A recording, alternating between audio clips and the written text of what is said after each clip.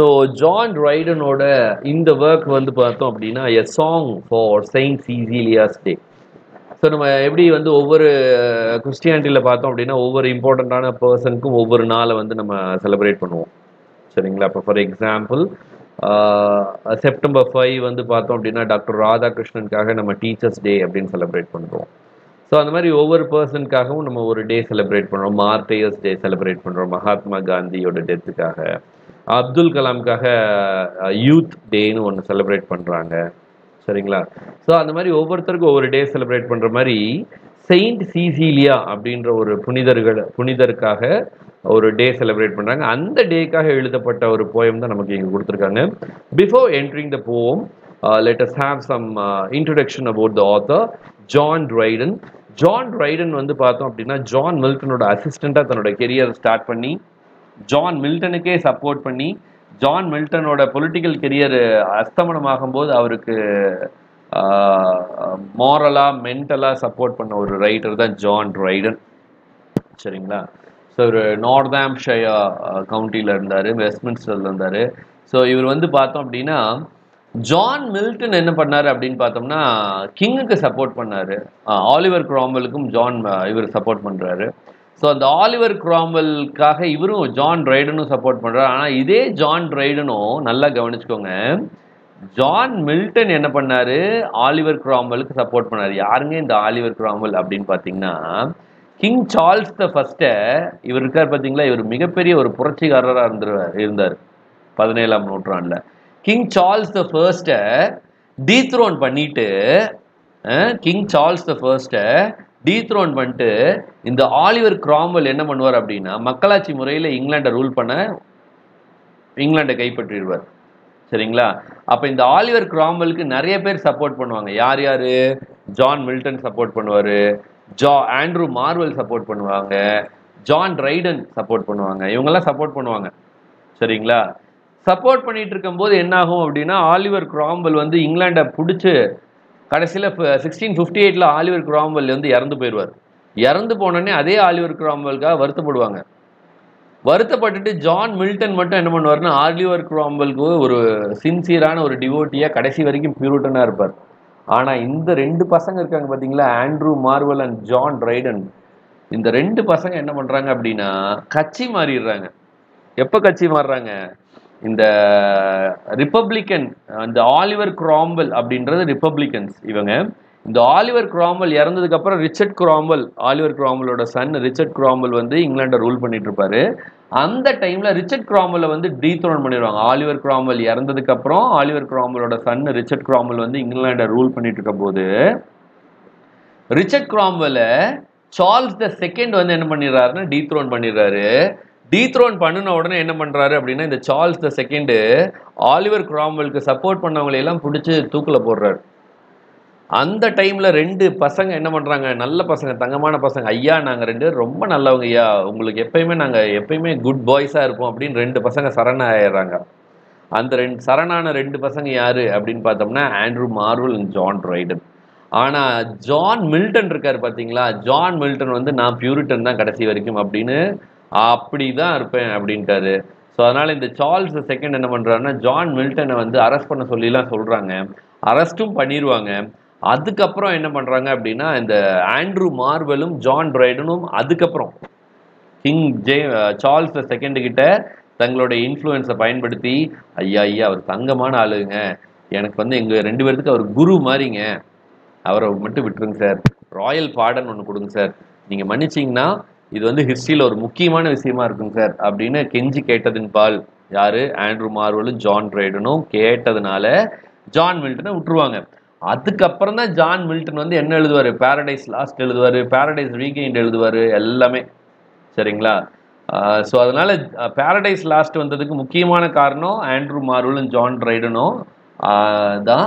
In fact அந்த டைம்லலாம் வந்து பார்த்தோம் அப்படின்னா ஜான் ரைடனும் சரி ஆண்ட்ரூ மார்வலும் சரி ஜான் மில்டன் கிட்ட அசிஸ்டன்ட் மாதிரி இருந்திருப்பாங்க. சரிங்களா? ஸோ அதனால ஜான் ரைடன் பற்றி தெரியும் போதே நீங்கள் ஆட்டோமேட்டிக்காக யார்? நம்ம ஜான் மில்டன் ஜான் ரைடன்லாம் ஒரே இதுதான். இப்போ நம்ம எப்படி அலெக்சாண்டர் போப்பை பற்றி பார்க்கும்போது Joseph Addison Richard Steele Jonathan Swift இவங்கெல்லாம் ஒரே ஒரு கம்யூனிட்டி மாதிரி ஒரு கிட்கேட் கிளப்பெல்லாம் வச்சுருந்தாங்க இல்லையா? கிட்கேட்னு ஒரு கிளப்பு படிச்சிருப்பீங்க ஞாபகம் இருக்குன்னு நினைக்கிறேன். இருந்தாங்க இல்லையா? அது மாதிரி ஜான் மில்டனை வந்து ஒரு குரு மாதிரியும் அந்த குருவுக்கு கீழே இருக்கிற ரெண்டு சிஷ்யர்களாக தான் இவங்க எல்லாம் இருந்தாங்க. ஜான் மில்டனுக்கே மூத்தவர் ஒருத்தர் தான் ஜான் டன்னு சரிங்களா? அதுவும் நம்ம பார்த்தோம். என்னது? ஜான் டன் வந்து சென்ட் பால்ஸ் கெத்தீட்ரலில் டீனா இருக்கும்போது அதே சென்ட் பால்ஸ் கெத்தீட்ரல் கேம்பஸ்குள்ளே இருக்க சென்ட் பால் ஸ்கூலில் தான் ஜான் மில்டன் படித்தார் அப்படின்றதெல்லாம் பார்த்தோம். அப்போது இந்த போயட்ஸ் எல்லாம் அப்படியே இன்டர் ரிலேட்டடாக ஞாபகத்தில் வச்சுக்கோங்க. ஜான் டன் ஃபர்ஸ்ட்டு ஜான் டன்னு கீழே ஜான் மில்டனு ஜான் மில்டனுக்கு கீழே இந்த ரெண்டு பசங்க Andrew Marvell and John Dryden so இப்போ நம்ம ஜான் ரைடன் பற்றி பார்க்க போகிறோம் ஸோ இதெல்லாம் ஜான் ரைடன் பற்றின இன்ஃபர்மேஷன் ஜான் ரைடன் ஆரம்ப காலத்தில் பியூரிட்டனிசத்தை சப்போர்ட் பண்ணார். எப்போ? ஆலிவர் கிராம்வெல் ரூல் பண்ணிட்டு இருக்கும்போது அதாவது பியூரிட்டன் டைமில் இவர் இது பண்ணார். ஆலிவர் கிராம்வெல் இறந்ததுக்கப்புறம் ரிச்சர்ட் கிராம்வெல் இருக்கும்போது ரிச்சர்ட் கிராம்வெலை கொன்று கிங் சார்ல்ஸ் செகண்ட் வந்து இங்கிலாண்டை பிடிக்கிறாரு. அந்த டைம் தான் என்ன சொல்கிறாங்கன்னா ரெஸ்டரேஷன் பீரியட் அப்படின்னு சொல்கிறாங்க இந்த ரெஸ்டரேஷன் பீரியடில் டப்புன்னு ஜான் ரைடன் என்ன பண்ணுறாரு சார்ல்ஸ் த செகண்டோட வருகைக்கு பாராட்டி ஒரு பாட்டு எழுதுறாரு. அதுதான் ஆஸ்ட்ரியா ரிடக்ஸ் சரிங்களா? ஆக்சுவலாக அதே பன்னெண்டு வருஷத்துக்கு முன்னாடி இதே சார்ல்ஸ் த ஃபஸ்ட்டு செகண்டோட அப்பா சார்ல்ஸ் த ஃபஸ்ட்டை இவர் கிரிட்டிசைஸ் பண்ணுறாரு யார்? நம்ம ஜான் ரைடன் அடுத்து பன்னெண்டு வருஷத்துக்கு அப்புறம் சார்ல்ஸ் செகண்ட் கிங் ஆன உடனே அவரை புகழ்ந்து எழுதப்பட்டது தான் ஆஸ்ட்ரியா ரிடக்ஸ் சரிங்களா? அதனால இவரோட பணிவை பாராட்டி இவரோட அன்பை பாராட்டி இவருக்கு வந்து நிறைய விருதுகள்லாம் தர்றாங்க. பொயட் லாரட்டெல்லாம் ஆக்குறாங்க. யார்? ஜான் ரைடனை ஸோ லைஃப்ஸ் ஆஃப் பொயட் அப்படின்றதுல நம்ம ஜான் ரைடனை பற்றி ஜான்சன் என்ன சொல்லியிருக்காரு அப்படின்னா if he changed he changed with the nation அவர் அவர் மட்டும் மாறல. நாட்டே நாடே மாறிடுச்சு. அதே நாடு முன்னாடி ஆலிவர் கிராமலை புகழ்ந்தது. அதே நாடு சார்ல்ஸ் செகண்ட் கிங் ஆன உடனே அவங்களையும் மாறினாங்க. அதனால இவர் வந்து துரோகின்லாம் சொல்லக்கூடாது. இவர் நல்லவர் தான் அப்படின்றாரு. Not totally forgotten raised his enemy அப்படின்றாரு. ஸோ இவர் மாறினதுக்கப்புறம் நிறைய எனிமி உருவாயிட்டாங்க அப்படின்றாங்க. அதுக்கப்புறம் இவர் எழுதின நிறைய ஒர்க்லாம் பார்த்தோம் அப்படின்னா to his sacred majesty panegyric on his coronation அதாவது சார்ல்ஸ் செகண்டோட காரனேஷன் பட்டமளிப்பு விழா கிரீடம் சூட்டுற விழா இருக்கு இல்லையா? அதுக்கு ஒரு poem எழுதிடுறாரு to to to my lord chancellor அப்படின்ற ஒரு ஒர்க் எழுதியிருக்காரு. அதே மாதிரி பார்த்தோம் அப்படின்னா இவரோட லைஃப்பில் இன்னும் நிறையா நிறைய பொலிட்டிக்கல் டிஃபிகல்ட்டிஸ்லாம் கொண்டு வந்திருக்காரு. சரிங்களா? என்ன பொலிட்டிக்கல் டிஃபிகல்ட்டிஸ் அப்படின்னு பார்த்தோன்னா ஒரு மனுஷன் ஒரு கிங் வந்து பதவி ஏற்கும்போது கிங்கு கூட நிறைய அமைச்சர்கள்லாம் பதவி பதவி ஏற்பாங்க இல்லையா?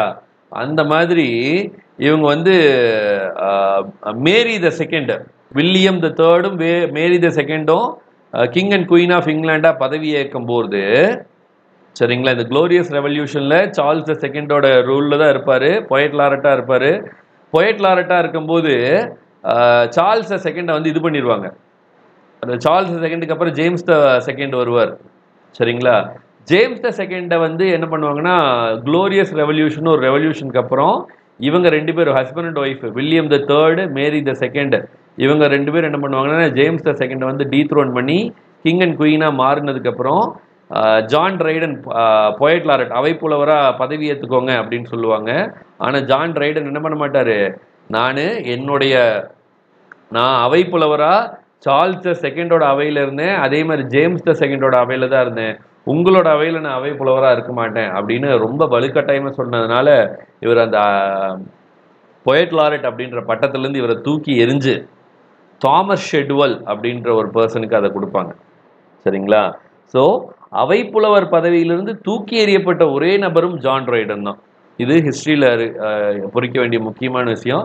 இதை வச்செல்லாம் நமக்கு எக்ஸாமில் கேட்க மாட்டாங்க. ஸோ இவரோட ஃபேமஸான ஒர்க்லாம் பார்த்தோம் அப்படின்னா இந்த பேஜில் ரெட்டில் மார்க் பண்ணியிருக்கு த வைல்டு கேலண்ட் சரிங்களா?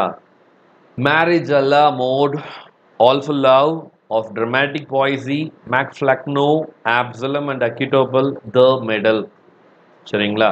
இதெல்லாம் இவரோட ஃபேமஸான ஒர்க்கு அதே மாதிரி பார்த்தோம் அப்படின்னா இவர் வந்து அந்த பொயட் லாரட்டை ஏற்றுக்காதனால இவர் இறந்தபோது செயின்ட் ஆன்ஸ் சிமெட்ரியில் தான் புதைச்சாங்க.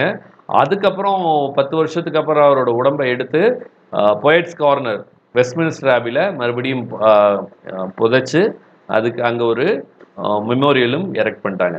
ஸோ இப்போ நம்ம இந்த போயம்குள்ளே பார்க்க போகிறோம் இந்த போயம் பார்த்தோம் அப்படின்னா இந்த போயமோட நேம் என்னங்க? A song of Saint Cecilia's day இந்த போயமோட நேம் என்னதுங்க? A song of Saint Cecilia's day இந்த போயம்ல பார்த்தோன்னா எட்டு பார்ட் இருக்கு. சரிங்களா? இந்த போயம்ல எட்டு ஸ்டான்சாஸ் இருக்கு. இந்த எட்டு ஸ்டான்ஸால மொத ஏழு ஸ்டான்ஸா பார்த்தோம் அப்படின்னா மொத ஏழு ஸ்டான்ஸா ரொம்ப அழகா இருக்கும். தனியா ஒரு மனிதன் பேசுற மாதிரி இருக்கும். மொத ஏழு ஸ்டான்ஸா இந்த போ இந்த போயமோட ஸ்ட்ரக்சர் பார்த்துக்கோங்க. இந்த போயம்ல பார்த்தோம்னா எயிட் ஸ்டான்சாஸ் இருக்கு. இந்த எயிட் ஸ்டான்சாஸ்ல மொத ஏழு ஸ்டான்ஸா ஒரு இண்டிவிஜுவல் ஸ்பீக்கர் பேசுற மாதிரி இருக்கும். எட்டாவது ஸ்டான்ஸாவே இந்த போயமில் என்ன சொல்கிறாங்கன்னா கிராண்டு கோரஸ் அப்படின்னு சொல்கிறாங்க சரிங்களா? எட்டாவது ஸ்டான்ஸா என்ன சொல்கிறாங்க கிராண்டு கோரஸ் அப்படின்றாங்க. இப்போ உங்களுக்கு ஒரு கொஸ்டின் கரெக்டாக யார் சொல்கிறீங்கன்னு பார்க்கலாம். அன்மியூட் பண்ணிக்கலாம் நீங்கள் ஜான் டன் டே என்னைக்கு செலிப்ரேட் பண்ணுறாங்க பண்றாங்க March 31st. Very good March March 31. Thirty first March 31. Thirty first yes very good very good so அதே மாதிரி செயின்ட் சீலியாஸ் டே எப்போ செலிப்ரேட் பண்றாங்க அப்படின்னு பார்த்தோம்னா நவம்பர் டுவெண்ட்டி செகண்ட் ஞாபகத்தில் வச்சுக்கோங்க. இது எக்ஸாம்ல கேட்கலாம். சரிங்களா? ஸோ இந்த ஸ்டான்ஸா இந்த எட்டு ஸ்டான்ஸா சொல்றேன் இல்லைங்களா? ஒவ்வொரு ஸ்டான்ஸாலும் எத்தனை எத்தனை லைன் இருக்கும் அப்படின்னு பார்த்தோம்னா நம்ம நார்மலா ஒரு ஈக்குவலான லைன்ஸா பேரலான லைனா இருக்கும். ஆனா இந்த போயம்ல அப்படிலாம் இல்லை. அன்னீவனான லைன்ஸா தான் இருக்கு. ஸோ பதினஞ்சு லைனில் ஆரம்பிக்கிற போயும் சில ஸ்டாண்ட்ஸாக பார்த்தோம்னா மாறி மாறி நான் ஆறு லைன்லாம் கூட இருக்கும். சரிங்களா? ஸோ அதனால் அன்ஈவன் லைன்ஸாக தான் இருக்குது ஆனால் ரைம் ஸ்கீமோட எழுதியிருக்காரு. இயாம்பிக் பென்டாமீட்டரில் எழுதியிருக்காரு. சரிங்களா? ஸோ இதில் பார்த்தோம்னா செயின்ட் சீசிலியாவோட ஆர்கன் ஆர்கன்னா என்னது? அந்த மியூசிக்கல் இன்ஸ்ட்ருமெண்ட் வந்து இருக்கலே சிறப்பான ஒரு மியூசிக்கல் இன்ஸ்ட்ருமெண்ட்டு இப்போது இந்த உலகம் எப்படி உருவாச்சு?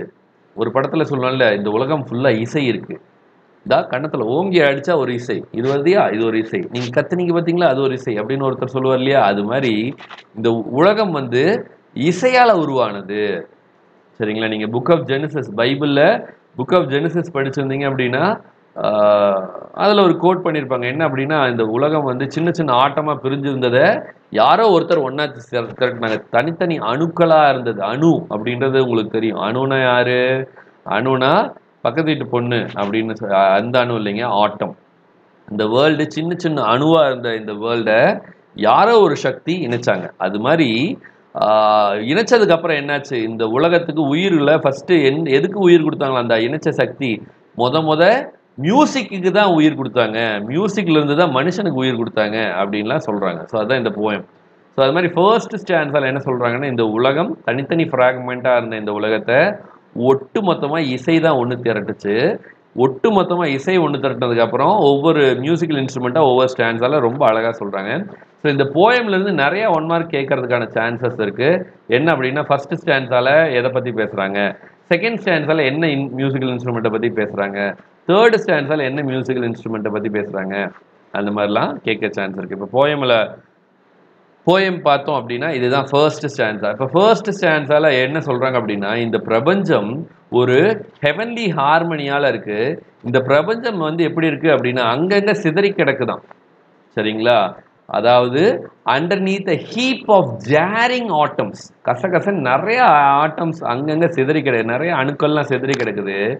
இந்த நிறைய அணுக்களை யாரோ ஒருத்தர் ஒன்று திரட்டுறாங்க. எப்படி ஒன்று திரட்டுறாங்க? அந்த யாரோ ஒருத்தருக்கு இவர் காட் அப்படின்னு பேர் வைக்கிறாரு. அந்த காட் வந்து என்ன பண்றாரு? இந்த சி- அணுக்கள்லாம் அதாவது ஒன்றும் இல்லைங்க ஒரு மண் எப்படி தனித்தனியாக சிதறி கிடக்கும். அந்த மண்ணெல்லாம் ஒன்றா க கையில் ஒரு உருண்டை பிடிச்சி தண்ணி ஊற்றி உருண்டை பிடிச்சி அந்த உருண்டையில் என்ன கொடுக்குறாரு? குளிர்ச்சி சூடு கதகதப்பு ஈரப்பதம் வ- வர வறட்சி தன்மை எல்லாத்தையும் கொடுத்து ஒரு உருண்டையை உருவாக்குறார். யாரு? கடவுள் அப்படின்றார். ஸோ அந்த கடவுள் இந்த உலகத்தை உருவாக்குனதுக்கப்புறம் இந்த உலகத்தில் முத முத அவர் எதை படைச்சார் அப்படின்னா மியூசிக்கை தான் படைச்சாரு. அப்போ அக்கார்டிங் டு ட்ரைடன் இந்த கடவுள் முத முத உலகத்தில் எதை படைச்சாரு? மியூசிக்ஸ் பவர் ஒபே அந்த மியூசிக்கை படைச்சதுக்கப்புறம் இந்த உலகத்தில் ஒரு ஹார்மனி உருவாச்சு. ஸோ இங்கே பாருங்களேன் இந்த லைன் பாருங்களேன். From heavenly from harmony from heavenly harmony இதே லைன் இங்கேயும் வருது பாருங்க. இந்த இந்த ஃபஸ்ட்டு ரெண்டு லைன் அதே ஃபர்ஸ்ட் லைன்ல இங்கேயும் வருது. From harmony from heavenly harmony this universal frame began இப்போ இந்த இந்த தேர்ட் அண்ட் ஃபோர்த் லைன்ல என்ன இருக்கு? ஜாரிங் ஆட்டம்ஸா இருந்தது. இப்போ இங்க என்ன ஆயிடுச்சு from harmony to harmony through all the compass of the notes it ran a diapason closing full in man so மியூசிக்கை படைச்சாரு. மியூசிக்கை படைச்சதுக்கப்புறம் மறுபடியும் கொஞ்சம் கொஞ்சமாக கொஞ்சம் கொஞ்சமாக ஹார்மனியோட ஹார்மோனியோட என்ன பண்ணுறாரு டயஃபேஷன் ஃபுல் இன் மேன் டயஃபேஷன்னா என்னது? இந்த ப்ராசஸ் வந்து கடைசி எப்போ முடியுது? மேனை உருவாக்கும் போது முடியுது. முத முத இந்த ப்ராசஸ் எப்படி ஆரம்பிச்சது? இந்த ஆட்டம் துகள்களாக இருந்ததை ஒன்று திரட்டுற மூலமாக இந்த ப்ராசஸ் உருவாச்சு. ஒன்று திரட்டினதுக்கப்புறம் என்ன பண்ணாங்க? ஒன்று திரட்டினதுக்கப்புறம் மியூசிக்கை உருவாக்குனாங்க. மியூசிக்கை உருவாக்கிட்டு அடுத்து என்னாச்சு? மறுபடியும் நிறையா ஹார்மோனி சரிங்களா? ஒரு மியூசிக் டைரக்டர் என்ன பண்ணுவார்? வயலின் கிட்டார் ஃப்ளூட்டு சாக்ஸஃபோன் அந்த மாதிரி ஒவ்வொரு மியூசிக்கல் இன்ஸ்ட்ருமெண்ட்லாம் சேர்க்குறாரு இல்லைங்களா? அதை தான் டயஃபேசன் அப்படின்றாங்க. டயஃபேசன் அப்படியே நிறையா சவுண்ட்ஸை உருவாக்குறது. சரிங்களா? கடவுள் சின்ன சின்ன துகள்களாக இருந்த ஆட்டமெல்லாம் ஒன்று திரட்டினாரு. சின்ன சின்ன துகள்களாக இருந்த ஆட்டமெல்லாம் ஒன்று திரட்டினதுக்கு அப்புறம் இசையை உருவாக்குறாரு. நிறைய பலதரப்பட்ட இசையை உருவாக்குறாரு. இசைனா பலதரப்பட்ட உயிரினங்களை உருவாக்குறாரு. பலதரப்பட்ட உயிரினங்களை உருவாக்கி கடைசியில் அந்த பலதரப்பட்ட இசையிலிருந்து மனிதனை உருவாக்கியிருக்காரு அப்படின்ட்டாரு ஸோ உலகம் உருவாயிருச்சு மனுஷனும் உருவாயிட்டாங்க ஃபர்ஸ்ட் ஸ்டான்ஸால் இப்போ செகண்ட் ஸ்டான்ஸால் என்ன பண்ணுறோம் அதுக்கப்புறமும் இந்த பேஷன் வந்து என்ன ஆகுது? இன்னும் டெவலப் ஆகிக்கிட்டே இருக்குது இந்த பொயட்டிக் பர்சோனா uh, என்ன ஆகுது? டெவலப் ஆகிட்டே இருக்கு. எப்படி டெவலப் ஆகுது? ஜுபல் ஜுபல் வந்து அவரோட கார்டட் செல்ல இது பண்ணும்போது. கார்டட் செல்னா என்னது? சங்கு மாதிரி ஒன்று வாசிக்கும் போது ஜுபல் மொத இப்போ இந்த செகண்ட் ஸ்டான்ஸால் ஒரு இன்ஸ்ட்ருமெண்ட்டை ரெஃபர் பண்றாங்க. அந்த இன்ஸ்ட்ருமெண்ட் என்னது? ஜுபலோட கார்டட் ஷெல் இந்த ஜுபலோட கார்டட் ஷெல் அந்த சங்குக்குள்ள ஜூபல் ஜூபல்ன்றது ஒரு பிப்ளிக்கல் கேரக்டருங்க இவர் வந்து ஹார்ப்பு மாதிரியான ஒரு இசைக்கருவி வாசிக்கிறவர். சரிங்களா? ஜுபல் அப்படின்றவர் ஒரு பிப்ளிக்கல் கேரக்டரு இங்கே பார்த்தீங்கன்னா தெரியும். ஜுபல்ன்றது ஒரு பிப்ளிக்கல் கேரக்டரு இவர் ஹா ஹார்ப்பு அதாவது ஃப்ளூட்டு மாதிரியான ஒரு இசைக்கருவி வாசிக்கிறவர். அவர் அந்த அவரோட அந்த காடட் செல்ல ஊதும் போது அவரோட காற்று பூமியில் ஃபுல்லாக நிறைஞ்சிருச்சு. அதே மாதிரி அவரோட அந்த இசை பூமி ஃபுல்லாக ஒரு அற்புதமான ஒரு விஷயத்தை உருவாக்குது. So to worship that celestial sound less than a god they thought there could not dwell within the hollow of the shell அந்த ஜுபலோட அந்த சங்கு இருக்கு இல்லைங்களா? ஷெல்லுன்னா சங்கு. அந்த கார்டட் ஷெல் இருக்கு இல்லையா? அதோட அந்த ஹாலோ இருக்குங்க இல்லைங்களா? ஹாலோன்னு என்னது? அந்த எம்டினஸ் அந்த ஸ்பேஸ் அந்த வளிமண்டலம். அந்த வளிமண்டலத்தில் இசை உருவாகி அந்த இசை இந்த பூமி எங்கும் நிறைஞ்சிருக்கு அப்படின்றாங்க செகண்ட் ஸ்டான்ஸா இதே தேர்ட் ஸ்டாண்ட்ஸில் பார்த்தோம் அப்படின்னா மூணாவது இசையை சொல்கிறாங்க ஸோ செகண்ட் ஸ்டாண்ட்ஸால் எதை சொல்கிறாரு ஜுபலோட கார்டட் ஷெல்லை பற்றி சொல்கிறாரு தேர்ட் ஸ்டான்ஸால எதை பற்றி சொல்கிறாருன்னா ட்ரம்பட்டை பற்றி சொல்கிறார் ட்ரம்பட்னா என்ன? மத்தள கருவி. அந்த இந்த பேம் பேம் அப்படின்னு வாசிக்கிற ட்ரம்பட்டு சரிங்களா? ஊதல் கருவி ட்ரம்பட்டு ட்ரம்பட்டு அது இல்லாமல் இதேலேயே இன்னொரு கருவி சொல்கிறாரு என்ன சொல்கிறாருங்க தண்டரிங் ட்ரம் சரிங்களா? ட்ரம்பட்டை பற்றி சொல்கிறாரு அதே மாதிரி என்ன சொல்கிறாரு தண்டரிங் ட்ரம் அதெல்லாம் இந்த இதில் சொல்கிறாரு ஸோ அந்த மாதிரி இந்த அதாவது ஒவ்வொரு இன்ஸ்ட்ருமெண்ட்டை பற்றி சொல்கிறாருன்னா என்ன எதுக்காக சொல்கிறார் அப்படின்னா இந்த பூமியில் அந்த மாதிரி உயிரினங்கள் சத்தங்கள் ஒவ்வொரு வகையான சத்தங்கள் அப்படியே கொஞ்சம் கொஞ்சமாக வருதாம். சரிங்களா? அதே மாதிரி நிறையா மார்டல் அலார்ம்ஸ் மார்டல் அலார்ம்ஸ்னு என்னதுங்க? நிறையா பேட் பேட்டில் சத்தம் மக்களோட சத்தம் பேட்டில் சத்தம்லாம் வந்துச்சு அப்படின்றாங்க. அதே மாதிரி பார்த்தோம் அப்படின்னா எனிமியை தாக்குற சத்தம் அதெல்லாம் உருவாச்சு. அப்படியே கொஞ்சம் கொஞ்சமாக எனிமிட்டி வர ஆரம்பிச்சது. அமைதியாக இருந்த உலகம் கொஞ்சம் கொஞ்சமாக இதாக ஆரம்பிக்குது. அதே மாதிரி இந்த ஸ்டான்ஸா பாருங்கள் இந்த ஸ்டான்ஸால நாலே லைன் தான் ஃபோர்த்து ஸ்டான்ஸால ஃபிஃப்த்து ஸ்டான்ஸால அஞ்சே லைன் தான். சரிங்களா? ஃபோர்த்து ஸ்டான்ஸால என்ன இன்ஸ்ட்ருமெண்ட்டை பற்றி சொல்கிறாங்க ஃபோர்த்து ஸ்டான்ஸால வந்து ஃப்ளூட்டை பற்றி சொல்கிறாங்க கம்ப்ளைனிங் ஃப்ளூட் இந்த dying note discovers the woes of hopeless lovers இந்த ஃப்ளூட்டில் எதை சொல்கிறாங்க ஃப்ளூட்டில் வந்து நம்பிக்கை இல்லாத லவ்வர்ஸோட எதிரியெல்லாம் செதஞ்சு போகட்டும். Whose dirge is whispered by that warb warbling lute அப்படின்றாங்க. ஸோ இந்த ஃப்ளூட்டோட இசையில் காதலர்களோட சோகம்லாம் ம மடிந்து போகட்டும் அப்படின்றாரு ஃபோர்த்து ஸ்டான்ஸால் ஃபிஃப்த்து ஸ்டான்ஸில் வயலின் இந்த வயலின் வந்து என்ன பண்ணட்டும்? வயலின் வந்து பொறாமையை கொல்லட்டும். ஜெலஸ் பேங்ஸை கொல்லட்டும். டெஸ்பரேஷன் டெஸ்பரேஷன் எனக்கு இதுதான் வேணும் இதுதான் வேணும்னு ஒன்றை தேடியே அலைஞ்சிட்டு இருப்போம் இல்லைங்களா? அதெல்லாம் அழிஞ்சு போகட்டும். ஃபியூரி கோபம் ஃப்ரான்டிக் இன்டிக்னேஷன் ஃப்ரான்டிக்னா என்னது? காட்டுவாசித்தனமான விரோதம். இதெல்லாம் போகட்டும். டெப்த் ஆஃப் பெயின் எல்லாம் அழிஞ்சு போகட்டும். ஹைட் ஆஃப் பேஷன்லாம் அழிஞ்சு போகட்டும். ஃபேர் டிஸ்டெயின்ஃபுல் டேம் எல்லாமே அழிஞ்சு போகட்டும். அப்போ ஃப்ளூட்டோட இசையில் காதலர்களோட சோகம் அழியட்டும் வயலினோட இசையில் இந்த பூமியில் இருக்க கெட்ட கெட்ட விஷயங்கள்லாம் அழிஞ்சு போகட்டும் அப்படின்ற அதோட கண்டினியூட்டி பாருங்க. ஸோ அது மட்டும் இல்லை இந்த வயலினோட இசை இன்னும் என்ன பண்ணணும்? மனுஷனுக்கு இன்னும் நல்ல நல்ல விஷயங்கள்லாம் கொண்டு வரட்டும். சரிங்களா? அதற்காக தான் இந்த சேக்ரெட் ஆர்கன்லாம் சேக்ரெட் ஆர்கன் யாரை சொல்கிறாங்க காடை சொல்கிறாங்க ஸோ இந்த செயின்ட் சீலியாவோட ஆர்கனை சொல்கிறாங்க சேக்ரெட் ஆர்கன் அவர் யாரை சொல்கிறாரு செயின்ட் சீலியாவோட ஆர்கனை சொல்கிறாரு ஸோ அதுதான் இந்த பற்றி சொல்கிறாங்க சிக்ஸ்த் ஸ்டான்ஸால அடுத்தது ஆர்ஃபியூஸை பற்றி சொல்கிறாங்க ஆர்ஃபியூஸ் யார்? அப்படின்னு பார்த்தோம்னா கிரீக் மித்தாலஜியில் மியூசிஷியன் சரிங்களா? God of wine god of music god of poetry எல்லாமே ஆர்ஃபியூஸ் தான். ஸோ இந்த ஆர்ஃபியூஸ் வந்து இந்த காட்டு மிராண்டிகளை நல்வழிப்படுத்தட்டும். அவரோட லயர் மூலமாக லயர்னா என்னது? யாழ் மாதிரியான ஒரு கருவி. இந்த ஆர்ஃபியூஸ் வந்து இந்த காட்டுவாசியான மனிதர்களை ஒரு நல்ல பண்பட்ட மனிதராக மாறட்டும். எப்படி யா ஆர்ஃபியூஸோட அந்த யாழ் வந்து அப்படி மாற்றுமோ அதே மாதிரி இந்த சீசீலியாவோட ஆர்கனும் ஆர்கன்னா என்னதுங்க? மவுத் ஆர்கன் வச்சுக்கலாம். அந்த மவுத் ஆர்கன் அந்த சீசீலியா அவங்களோட மவுத் ஆர்கன் அப்படி ஊதும் போது அந்த மவுத் ஆர்கனில் இருக்க காத்திருக்கு பார்த்தீங்களா? அந்த ஓக்கல் பிரீத். சரிங்களா? When her organ vocal breath was given அவங்க அந்த மவுத் ஆர்கனில் காற்றை விடும்போது அந்த காற்று எங்கே போகணும்? ஏஞ்சல்களுக்கு கேட்கட்டும் ஏஞ்சல்களுக்கு கேட்கும்போது இந்த பூமியில் இருக்க எல்லா மிஸ்டேக்ஸும் இந்த சொர்க்கத்துல இருக்க எல்லா மிஸ்டேக்ஸும் அழிந்து போகட்டும் அப்படின்னு சொல்றாரு. ஸோ இது சிக்ஸ்த்து செவன்த்து ஸ்டான்ஸா இந்த ஏழு ஸ்டான்ஸா மொதல் ஏழு ஸ்டான்ஸாலையும் பார்த்தோம் அப்படின்னா ஒரு இண்டிவிஜுவல் ஸ்பீக்கர் பேசுகிற மாதிரி கொடுத்துருக்காரு. கடைசியாக ஒரு ஸ்டான்ஸாக வருது எட்டாவது ஸ்டான்ஸா இந்த எட்டாவது ஸ்டான்ஸால் இண்டிவிஜுவல் ஸ்பீக்கர் பேசுகிற மாதிரி அவர் சொல்லலை. கிராண்ட் கோரஸ் கோரஸாக நிறைய பேர் பாடுற மாதிரி இருக்குது அப்போது எல்லா பீப்புளும் ஒன்றா சேர்ந்து என்ன பாடணும்? As from the power of sacred lays சரிங்களா? இந்த புனிதத்துவத்தில் என்ன இருக்கணும்? இந்த உலகம் முழுவதும் ஸ்பியர் பிகான் டு மூவ் இந்த உலகம் நகர ஆரம்பிக்குது. எப்படி நகரணும்? இந்த உலகம் முழுவதும் எப்படி நகரணும்? நல்லபடியாக நகரணும். இந்த உருவத்தை இந்த உலகத்தை உருவாக்கிய கிரியேட்டரை புகழ்ந்து பாடிக்கிட்டே அவருடைய துதி பாடி பாடிக்கொண்டே இந்த உலகம் வந்து நகரணும். அதே மாதிரி அவர் மட்டுமல்ல அவருக்கு மேலே இருக்கவங்களையும் புகழ்ந்து பாடி இந்த உலகம் நக நகரணும். அதே மாதிரி இந்த உலகம் எது வரைக்கும் நகரணும்? ட்ரெட்ஃபுல் அவர் வரைக்கும் நகரணும். ட்ரெட் ட்ரெட்ஃபுல் அவர் அப்படின்னா வந்து என்ன? அப்படின்னு பார்த்தோம்னா நம்மளோட இறக்கிற தருணம்.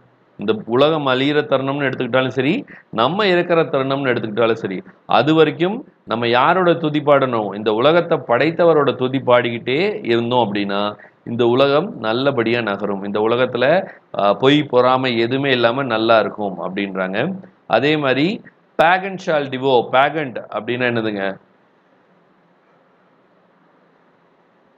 பேகண்ட் அப்படின்றது so crumbling pageant shall devour அப்படின்றது எதை பற்றி ரெஃபர் பண்ணுறாங்க அப்படின்னு பார்த்தோம்னா இந்த கடவுளை பற்றி இது பண்ணுறாங்க ஸோ அந்த மரணம் வந்து நம்மளை ஆட்கொள்கிற வரையும் ந- புக நடக்கட்டும். இறைவனை தூது து துதிப்பாடி பேசலாம்.